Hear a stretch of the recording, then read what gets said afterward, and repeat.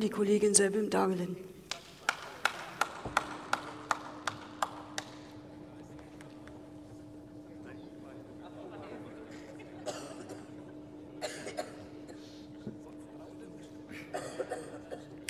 Frau Präsidentin, meine sehr verehrten Damen und Herren!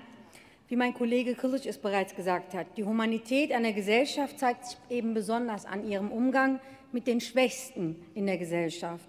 Und dazu gehören eben viele Migrantinnen und Migranten und auch Flüchtlinge.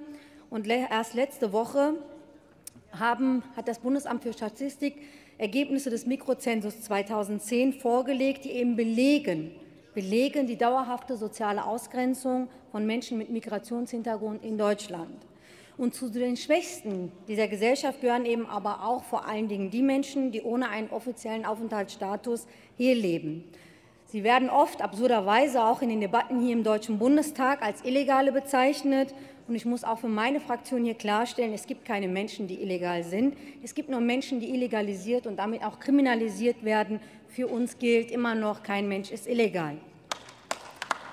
Die Fraktion, die Fraktion Die Linke begrüßt und teilt das Anliegen des Gesetzentwurfs der Grünen, auch wenn er erhebliche Mangel aufweist, lieber Kollege Kilic.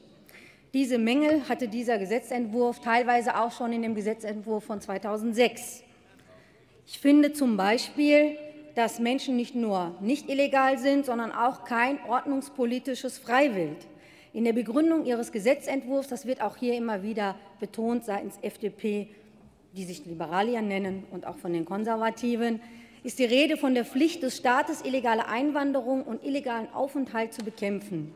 Ich frage mich, wo soll denn diese Pflicht eigentlich normiert sein? Eine solche Pflicht findet sich zum Beispiel im Grundgesetz in keinster Weise.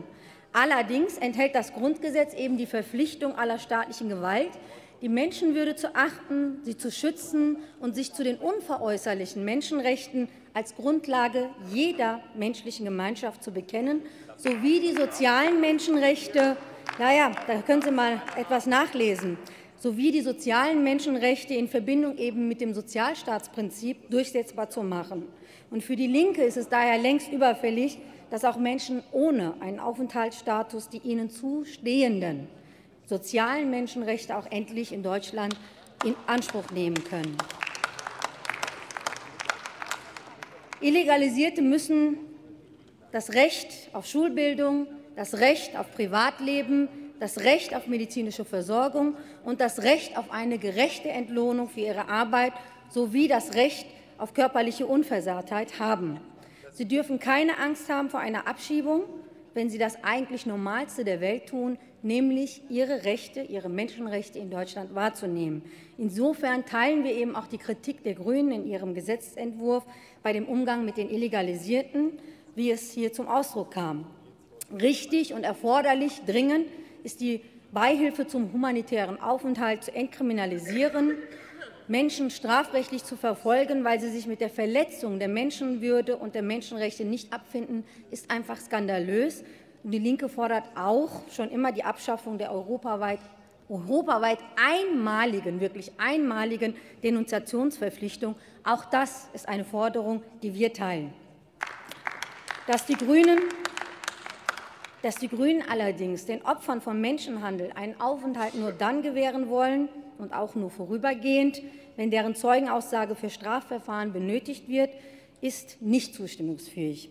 Das ist kein Opferschutz, das, ist kein Opfer, das tun Sie, das haben Sie auch schon 2006 getan, das steht in Ihrer Begründung, das ist kein das ist in Ihrem Gesetzentwurf, das ist kein Opferschutz, das ist eher eben eine Instrumentalisierung der Opfer, indem man das Schicksal der Menschen einfach abhängig macht von der Beweislage. Das ist für uns nicht akzeptabel, lieber Kollege.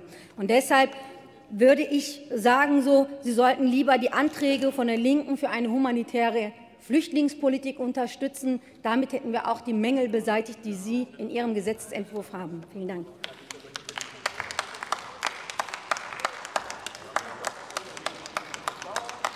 Das Wort hat der Kollege Peter Tauber von der CDU.